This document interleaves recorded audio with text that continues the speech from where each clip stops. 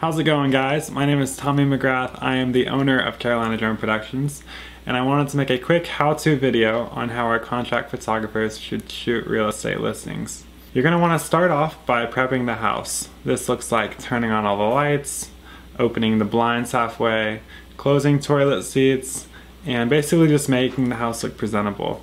You can do this by reorganizing pillows, moving around papers if it looks kind of cluttered, um, but it's pretty basic stuff. You just want to make sure the house looks presentable and the lights both on the inside and outside of the house are turned on, especially for those exterior photos. Sometimes people overlook that when turning on the lights. Um, but you just want to make sure you have it looking presentable and ready to go for the shoots. When it comes to setting up the camera for the photos, make sure your camera is in manual mode.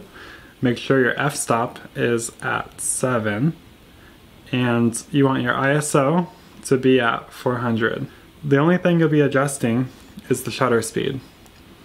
As long as the f-stop's at 7.1 and the ISO is at 400, you should be good to go. You also want to make sure to have the camera in continuous bracket shooting. You're going to have the photos be two stops away and in intervals of three photos. When shooting the house, you want to make sure to do at least one or two photos of every room, and then in bigger rooms like the living room and the kitchen and the master bedroom, you maybe want to get two or three, and maybe even more depending on the size of the room.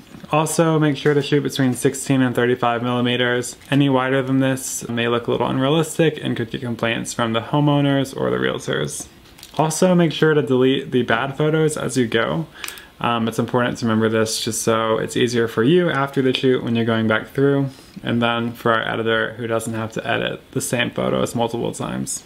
For the video, you want the f-stop to be 4 and the ISO to be around 1600. Sometimes in darker rooms you're going to have to go higher than this, but generally I think you'll be able to shoot the house at 1600 ISO. Also make sure to shoot in 60 frames per second just so the editing team can slow down the footage in post-production.